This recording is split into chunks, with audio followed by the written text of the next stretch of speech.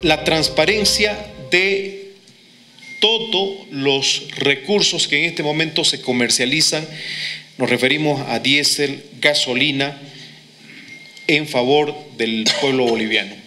Las medidas se implementarán a partir de la fecha. El ministro de Hidrocarburos informó que se observó un consumo inusual de combustibles. Se controlará con GPS desde el carguío de combustibles en planta hasta el uso final. Las Fuerzas Armadas participarán del control de lucha contra el contrabando de combustibles en 12 municipios. Destinarán 170 efectivos. Es que vamos a trabajar junto con la ANH en 12 municipios fronterizos que he mencionado Cobija, Copacabana, Desaguadero, Tambo, Tambo Quemado, Pisiga, Villazón, Yacuiba, Bermejo, Puerto Suárez, San Matías, Piso Firme y Guayaramerín, que estos son municipios fronterizos.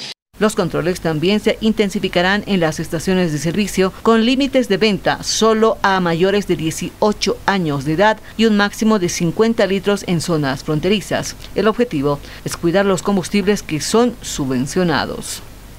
Estamos hablando de esas personas que se ha identificado también el control por parte de la institución, que no solamente iban a cargar personas que se querían para una actividad lícita en este caso, sino personas que iban con sus hijos, con sus bebés y realizaban estos carguillos diariamente. Igual se ha identificado en el tema de repetitividad en estaciones de servicio que 50 vehículos que ya están en dependencias de la Fiscalía